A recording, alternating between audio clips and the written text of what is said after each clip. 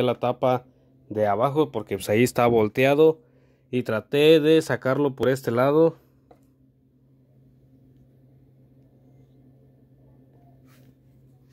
Pero resulta de que no se puede porque está tapado de este otro lado pues entonces no se puede sacar. Y lo que hice fue calentar una aguja ahí la tenemos y meterlo justamente en el centro